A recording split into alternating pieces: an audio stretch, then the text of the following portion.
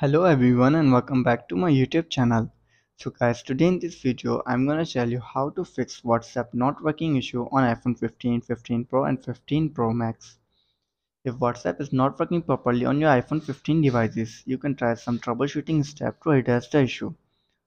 To first of all you have to do is check your internet connection. Ensure that you have a stable internet connection either through Wi-Fi or cellular data. You can check this by going opening your you can check this by opening the other apps or visiting website on your iPhone 15. After this then you have to do is restart WhatsApp. Close WhatsApp from the app switcher and then reopen it. To do this you have to first open your WhatsApp and close it and try again reopening it. If this doesn't work then you have to do is update your WhatsApp. Make sure you have the latest version of WhatsApp installed on your device. Outdated versions can have bugs and compatibility issues.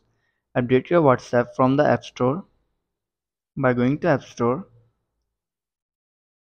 Search your WhatsApp.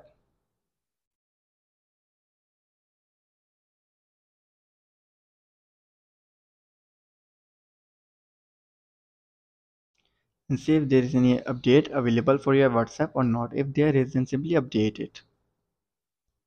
After this and you're still facing the issue, then you have to do is restart your iPhone 15.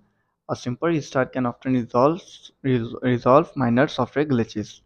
Turn your iPhone by going to settings, tap on general, then scroll down, then tap on shutdown.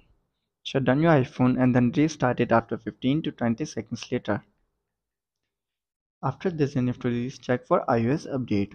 Ensure that your iPhone is running the latest version of iOS. Software update can fix compatibility issues and bugs with apps. So you have to go to your software update and check if there is any available update for your iPhone 15.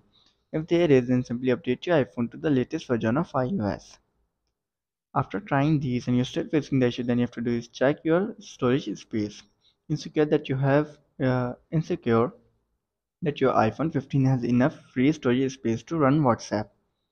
Go to your settings, go to general, or tap on iPhone storage to check your storage avail availability. After this then you have to do is check data, date and time.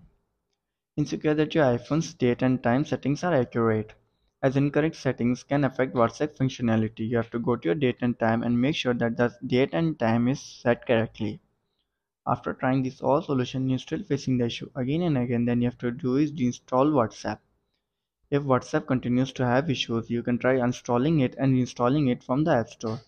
To do this first of all you have to tap and hold on your app now tap on remove app, tap on delete and delete WhatsApp and install it again from your app store.